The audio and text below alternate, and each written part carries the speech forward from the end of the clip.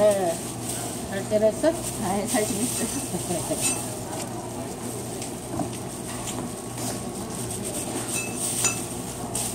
쉬는 날이세요? 아니, 아니요. 일 끝나고 오는 거야. 아, 끝나서? 끝나고 출근하시겠다. 한잔 먹으려고. 아하. 아하. 내일 쉬니까. 아, 네, 쉬는 날이시구나. 예, 기분 좋으시겠네, 지금. 좋긴 해. 언제는 뭐? 어, 그런가? 뭐, 뭔데 김밥 사신 거야? 먼저 갖고 왔어요.